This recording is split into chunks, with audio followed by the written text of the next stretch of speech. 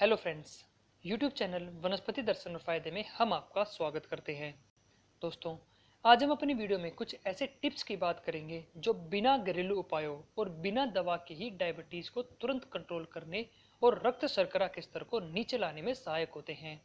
इसलिए संपूर्ण जानकारी के लिए देखते रहिए हमारी वीडियो लेकिन सबसे पहले आप हमारे यूट्यूब चैनल वनस्पति दर्शन और फ़ायदे को सब्सक्राइब और उसके साथ में दिए बेल के आइकन पर क्लिक ज़रूर कर लें। ताकि आपको हमारी हर नई वीडियो का नोटिफिकेशन मिल सके और आप हमारी कोई भी वीडियो मिस ना करो।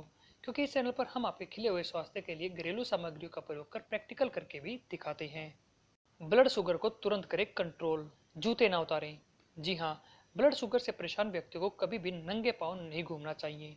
इसलिए आप अपने जूते या चप्पलों को हमेशा अपने पास ही रखें और उनका अधिक से अधिक इस्तेमाल करें। मीठा खाएँ। मीठा खाएँ से मतलब है कि आप अपने साथ हमेशा ग्लूकोज बिस्कुट या फिर शुगर कैंडी ज़रूर रखें।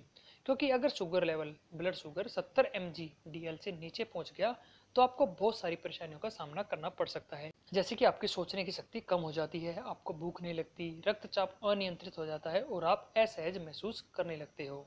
पानी पीते रहें। शुगर के रोगियों के शरीर में पानी की कमी हो जाती है। इसलिए आप समय समय पर पानी, जूस या कोई अन्य हेल्दी तरल पदार्थ ज़रूर पीते रहें। ताकि आपके शरीर में पानी की कमी को पूरा किया जा सके। इससे आपकी त्वचा भी स्वस्थ और हाइड्रेटेड रहती है। भोजन का रखें ध्यान। शुगर में सबसे अधिक ध्यान खान पान का ही रखना पड़ता है। इसमें आपकी जरा सी लापरवाही आपकी समस्या को बढ़ा सकती है। तो खाने में रेशेदार भोजन को शामिल करें और तैलीय आहारों से दूर रहें ताकि ब्लड शुगर नीचे आ सके। नियमित व्यायाम ज़रूर करें। रोज़ाना दिन में कम से कम आधा घंटा व्यायाम ज़रूर करें। चाहे आप इन 30 मिनट को दिन में 10-10 के तीन हिस्सों में भी बांट सकते हैं।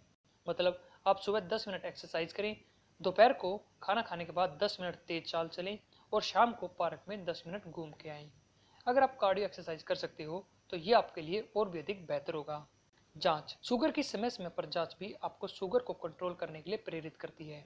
इसलिए डॉक्टर्स भी सलाह देते हैं कि आप एक समय के अंतराल पर अपने शुगर लेवल को ज़रूर चेक करते रहें। आमतौर से शुगर 70 से 130 mgdl होता है। वहीं खाना खाने के बाद ये बढ़कर 180 mgdl तक पहुँच जाता है।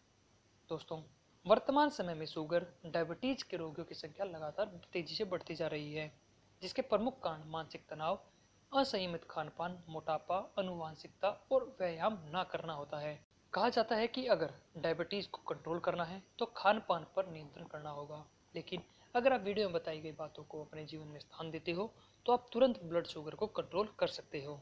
तो आप इन टिप्स को ज़रूर अपनाएँ। ध्यान रहे दोस्तों कि आयुर्वेद अपनाएँ मतलब स्वास्थ्य अपनाएँ, क्योंकि आयुर्वेद एक ऐसी चिकित्सा पद्धति है जो रोगों को जड़ समेत खत्म कर सकती है। साथ ही आप हमारे इस यूट्यूब चैनल वनस्पति दर्शन और फ़ायदे को सब्सक्राइब भी ज़रूर कर लें, ताकि आप तक हमारी हर नई और स्वास्थ्यवर्धक वीडियो को पहुँचाया जा सके।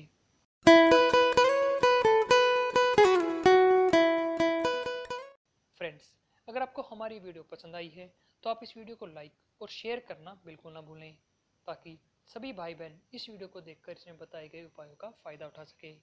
Thank you for watching a video friends